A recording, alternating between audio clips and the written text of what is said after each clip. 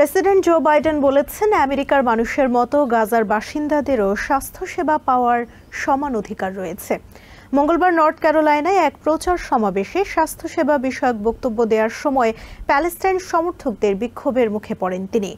গর্ভপাতের অধিকার কেড়ে নেওয়ার জন্য সাবেক প্রেসিডেন্ট ট্রাম্প ও ম্যাগা রিপাবলিকানদের দায়ী করেন Biden.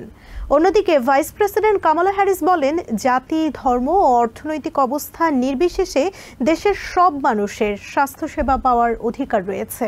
Allow them to deny coverage. North ক্যারোলাইনায় নির্বাচনী প্রচার সমাবেশে বক্তব্য দিতে গিয়ে প্যালেস্টাইন সমর্থকদের বাধার মুখে পড়েছেন president Joe Biden.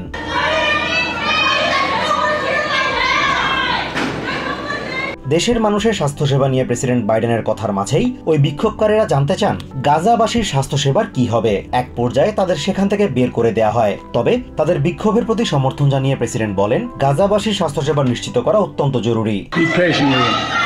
They have a point. We need to get a lot more care into this process. President Biden আরও বলেন অ্যাফোর্ডেবল কেয়ার অ্যাক্ট বাস্তবায়নের আগে স্বাস্থ্য বীমা প্রতিষ্ঠানগুলো নানাভাবে গ্রাহকদের ঠকিয়ে তাদের ন্যায্য সেবা পাওয়া থেকে বঞ্চিত করত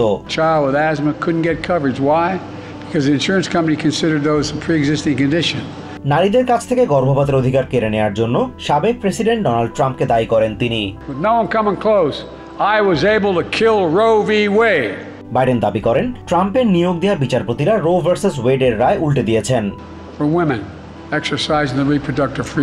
তিনি অভিযোগ করেন ট্রাম্প ও তার অনুসারী মেগা রিপাবলিকানরা সারা দেশে গর্ভপাতের অধিকার নিষিদ্ধের জন্য উঠে পড়ে লেগেছে. প্রেসিডেন্ট বাইডেন অঙ্গীকার করেন কংগ্রেসে ডেমোক্রেটিক পার্টি সংখ্যাগরিষ্ঠতা অর্জন করলে রো ভার্সেস ওয়েড মামলার রায় পুনর্বহাল করা হবে। I promise you, Common and I will restore Roe v. Wade as the law of the land again.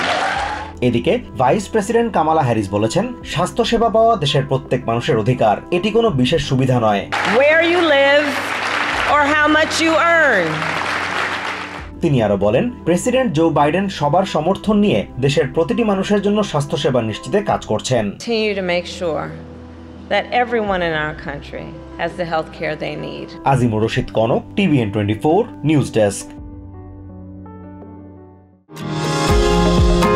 New York থেকে সম্প্রচারিত টিভিএন টোয়েন্টি ফোর টেলিভিশন বিশ্বজুড়ে বাঙালির কণ্ঠস্বর।